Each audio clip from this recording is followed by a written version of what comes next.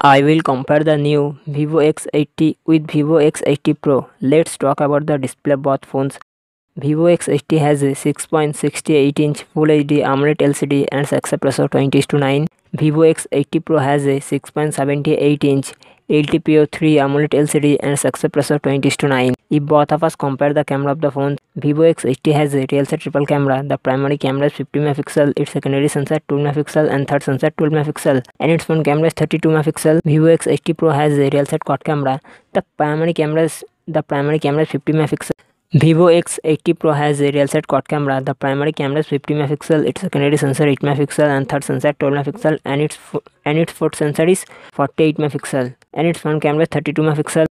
Vivo X80 has a octa-core MediaTek Dimensity 9000 processor and its GPU Mali G710. Vivo X80 Pro has a octa-core Qualcomm Vivo X80 Pro has a octa-core MediaTek Dimensity 9000 processor and its GPU Mali 710. Talk about both phones RAM internal storage. Vivo X80 has a 390 level 8GB RAM, 128GB internal storage, 8GB RAM, 256GB internal storage, 12GB RAM, 256GB internal storage. Vivo X80 Pro has a 390 available 8GB RAM, 256GB internal storage, 12GB RAM, 256GB internal storage, 12GB RAM, 512GB internal storage. Talk about the operating system of both phones. Both phones can be seen on Android 12.